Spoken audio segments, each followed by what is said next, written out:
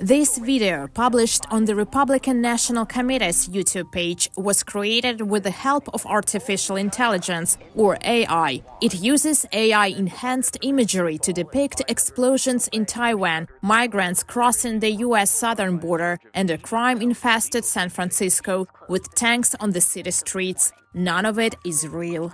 And from the Never Back Down Committee, a video that features Donald Trump's voice. It was later found out that the former president's remarks were taken from his social media post and his voice was generated by AI. In mid October, Google, which owns YouTube, announced it will require users who post realistic AI generated political content to clearly disclose that it contains altered or synthetic material. Mark Grzegorzewski is an assistant professor in the Security Studies and International Affairs Department of Embry-Riddle Aeronautical University. The use of generative AI uh, in these ads, the price point has come down significantly on them.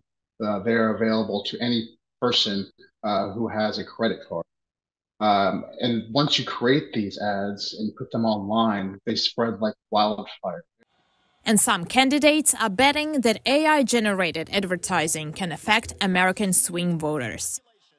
Given the razor thin margins that our presidential elections have come down to uh, over the past couple election cycles, targeting those 6% of voters could sway an election one way or another, especially if you did like Cambridge Analytica did and micro target those voters a number of state authorities are already attempting to regulate AI generated content. In Wisconsin, lawmakers want politicians and political groups to specify when they use AI generated audio and video materials in their campaign promos.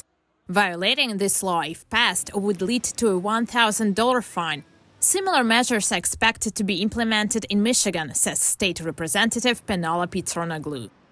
And it's also important to um, let voters know um, when you are using AI, um, especially if you're using it to do something um, like create um, a deep fake image um, that just isn't really that person doing or saying what you think you see them doing or saying.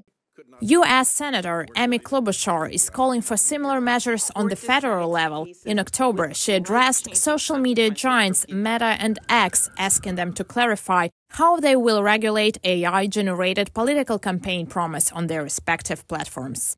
In response, on November 6th, Meta barred political campaigners and advertisers from using its generative AI tools. X, previously known as Twitter, has not rolled out any generative AI policies regarding the ongoing presidential campaign. Karina Bafradzhian, VOA News, Washington.